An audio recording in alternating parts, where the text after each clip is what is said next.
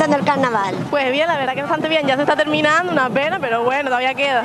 Bueno, pero ya seguro que estás pensando para el próximo año a ver de qué vamos a salir. Por supuesto, ya estamos planeando todo, todo, todo. Bueno, y aquí tengo otra, dosada. A ver, ¿cómo te llamas? ¿Y qué tal? ¿Qué tal lo están pasando? Muy bien. Benito porque se termina, ¿no? ¿Eh? La verdad que sí. Bueno, pues yo no dejo que quitarle un poquito más del carnaval y la dejo